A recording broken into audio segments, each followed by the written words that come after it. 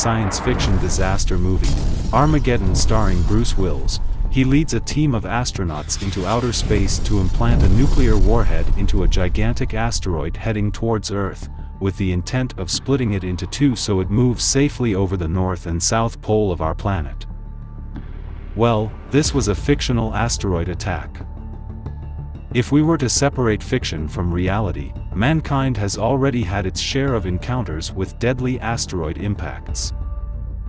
While the first most impactful asteroid collision to have hit Earth was Tunguska Bolide in 1908, the other took place in 2013.